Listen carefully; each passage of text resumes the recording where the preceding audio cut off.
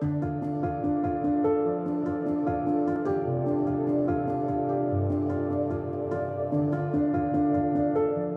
dirige un groupe de recherche qui travaille dans le domaine de l'immunothérapie du cancer.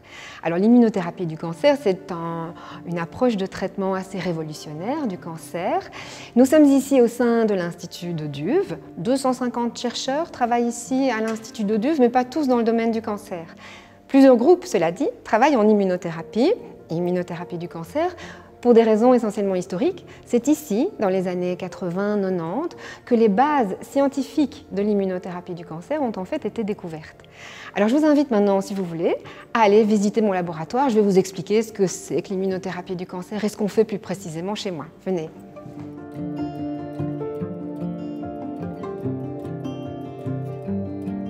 Alors on sait depuis de nombreuses années que quand une tumeur se développe, elle est accompagnée par des cellules du système immunitaire, des globules blancs qui infiltrent la tumeur en même temps. Des globules blancs accompagnent le cancer, elles infiltrent les masses tumorales et elles sont capables de détruire les cellules tumorales.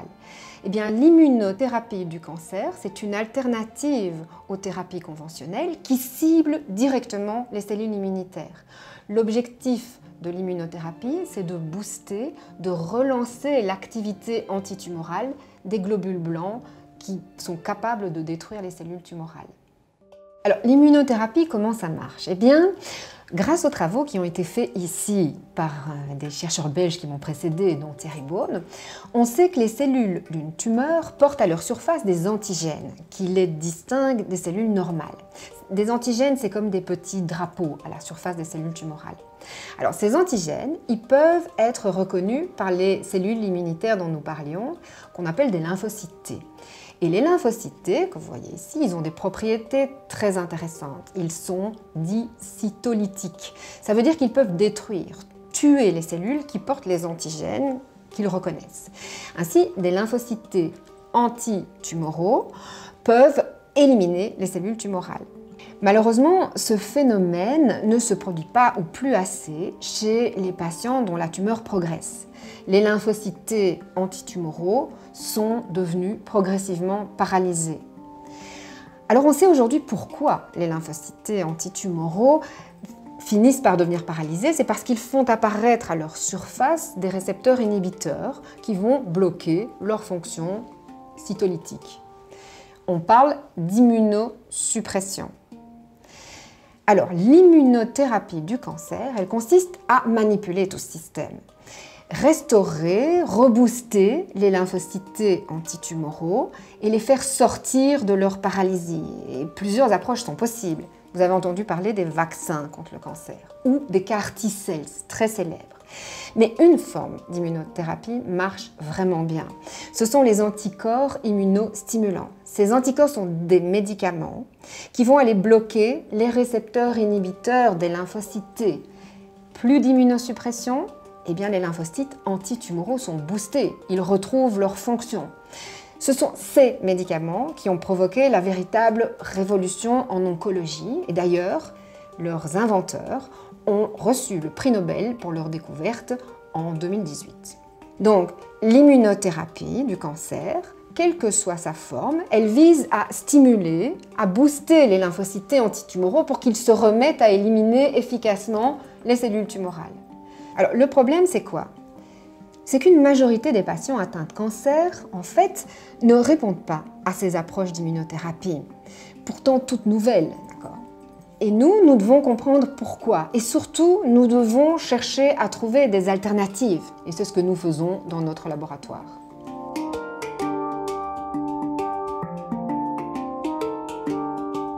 Donc nous, on s'intéresse aux Treg. Les Treg, c'est des cellules immunitaires aussi, mais qui bloquent, qui paralysent les lymphocytes antitumoraux. Ils jouent un rôle en plus des récepteurs inhibiteurs nous avons découvert comment les Treg paralysent les lymphocytes. Les Treg portent à leur surface une molécule qui s'appelle GARP. C'est la molécule qui est représentée en rouge ici et elle a une forme de fer à cheval. Alors GARP lie une autre molécule, le TGF-bêta. Son nom n'a pas beaucoup d'importance, mais ce qui est important, c'est de savoir que ce TGF-bêta est un messager du Treg, un messager paralysant. Mais il est emprisonné. Il est emprisonné dans cette camisole de force grise, et pour être libéré de la surface des Treg, il faut qu'une autre molécule intervienne, une molécule complice, et qui libère le TGF-bêta mature du, euh, de GARP.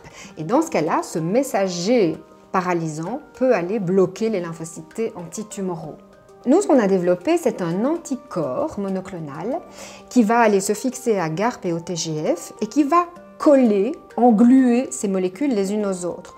De sorte à ce que quand le complice de GARP tire sur l'échafaudage, eh bien, l'anticorps empêche le messager d'être libéré. Si le messager paralysant ne peut pas être libéré, eh bien les lymphocytes antitumoraux, ceux qui sont supposés éliminer la tumeur, ne sont plus bloqués. On a donc un outil qui nous permet de bloquer les Treg et les empêcher de paralyser les autres lymphocytes T antitumoraux. Alors cet outil, on peut l'utiliser, on espère pouvoir l'utiliser chez les patients comme un nouveau médicament.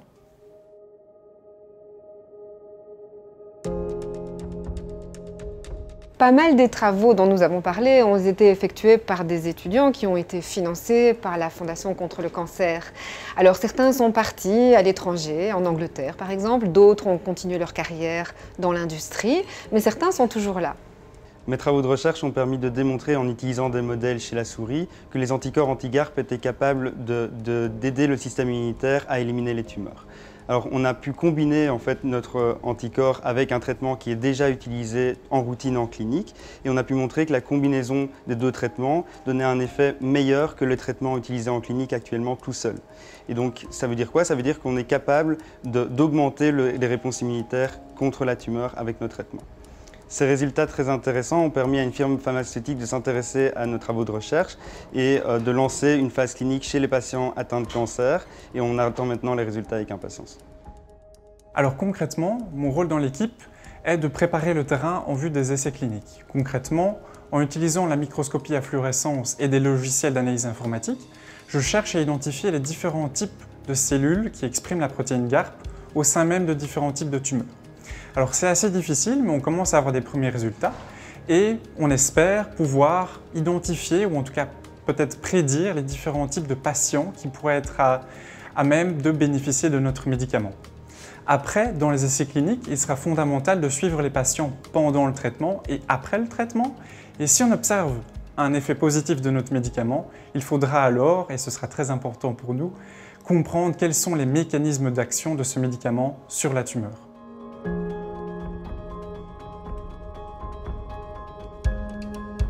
Mon moteur et ma motivation pour faire ce travail de chercheur, c'est d'assouvir ma curiosité.